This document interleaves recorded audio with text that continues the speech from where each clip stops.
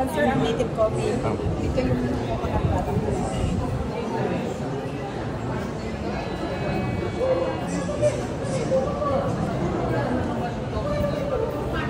For documentary lang.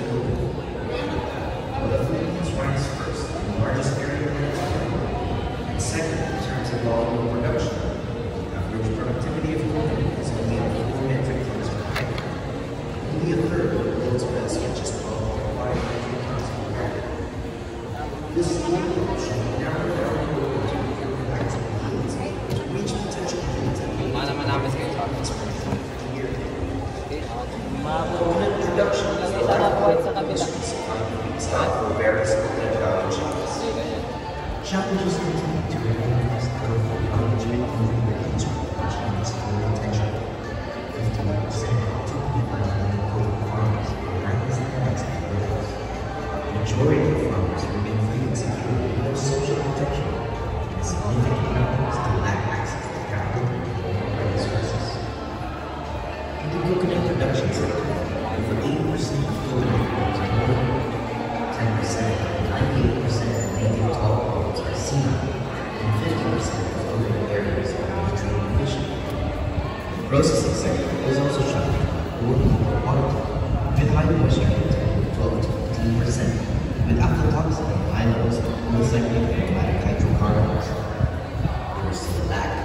integrated coconut processing, and the processing sector is dominated by multi-layered fragmented value chains. Challenges continue to remain across the coconut value chain, hindering the industry from achieving its full potential. Despite the backdrop of the struggling coconut industry, this roadmap will provide key strategies in order to transform the industry and elevate the welfare of Filipino farmers. In order to address these gaps, this roadmap presents seven thematic recommendations towards a resilient, secure, sustainable, and globally competitive coconut industry and prosperous farmers. These recommendations are economic development plan, which adopted in 2014 and one PP's development agenda, Masakatan. First, promoting coconut farmers' welfare and social protection through the provision of educational scholarship program for coconut farmers' children and health insurance for coconut farmers. This will also be supported by intensive information campaigns on crop insurance programs and the expansion of its coverage. Second, strengthening and empowering coconut farmers organizations through organization of coconut farmers into empowering organizations or cooperatives. Skills development will upgrading training programs and improved farm technologies and new value-added technologies for enterprises or coconut farmers listed in the National Coconut Registry System. Establishment and expansion of farm business schools in coconut communities is to our guidelines. Creation of local small farmers councils to provide mechanisms for consultation and participation. Third, increasing and sustaining coconut production to maintain the Philippine stature as a major and reliable supplier of quality coconut products. To move forward and maintain viability and make a competitive advantage of the global market, there must be assurances that the high-quality raw materials from the production sector. Increasing coconut and total farm productivity can be achieved through hybridization program and research, recalibration and upgrading of PCA seed gardens and hybridization farms, accelerated and strategic planting and replanting program, and professionalization of coconut farm workers through farm services. Goal, establishing coconut-based farming systems, agribusiness hubs, and corridors for coconut products, interface, and livestock.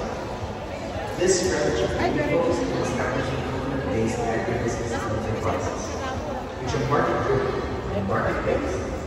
seamlessly link primary production with product processing, marketing, distribution, and consumption.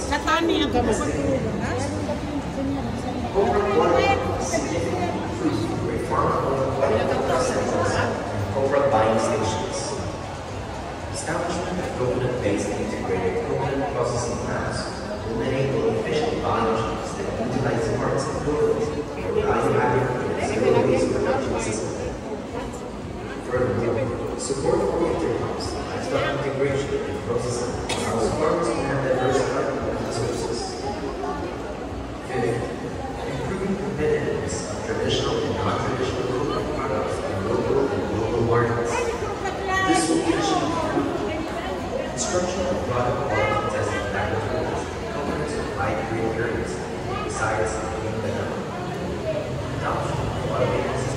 production processing. Training of our school youths as manageres and other skills in to encourage entrepreneurship. Six, enhancing trade and marketing, which is also paramount in improving the income of stakeholders in the coconut value chain. The following are the key strategies and vision to achieve this. Institutionalization of a market information network system. Promotion of the domestic consumption of coconut through extensive market promotion programs. Expansion of the utilization of coconuts or geotextiles in various industries. And market facilitation, linkages, and matching products. Lastly, strengthening institutional, policy, and support services, which are important to back the private strategies. These will be achieved through the to credit repair for organizations, and SMEs. Development of accreditation centers and programs for and researchers. Construction of secondary roads. Improvement of of business with digitization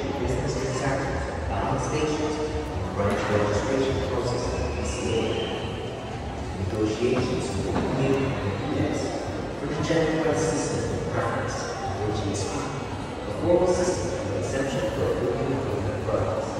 Remark on Exhibit 4259 on the use of CLO-based surfactants and detergents and increasing coconut benefits from 2 to 5 percent.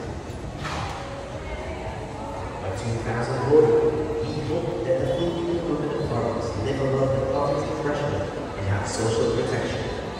25 billion nuts would have been reduced hybridization and replacement of trees.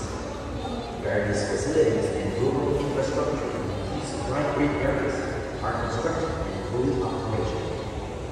Policies are institutionalized to better support various coconut stakeholders. Join us hand